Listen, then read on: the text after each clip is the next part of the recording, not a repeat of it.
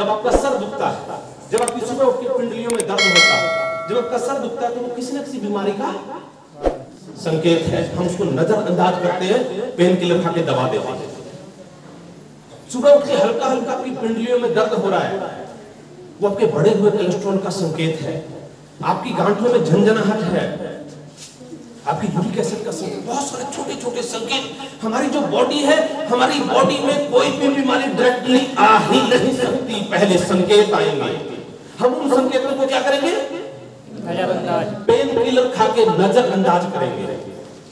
Local doctor से बार बार tablet लेंगे। भाई, बयालीस साल की एज हो गई। आज तक पेन किलर नहीं लिया। ना लेने देता हूँ अपने परिवार को।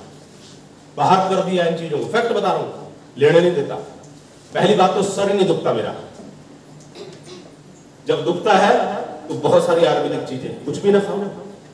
चाय पी के सो जाओ, नहा लो, ठीक हो जाएगी। पेन किलर खाने का मतलब अपनी इम्यूनिटी को डाउन करना, बीमारियों को अंदर आने का रास्ता देना। मैं फैक्ट बता हूँ लेकिन वो कैसे आप मेंटेन करेंगे? बीपी की गोली से आप कैसे छुटकारा लेंगे, शुगर की गोली से कैसे छुटकारा लेंगे हेल्थ को कैसे मेंटेन करेंगे, ये अलग मीटिंग का विषय है।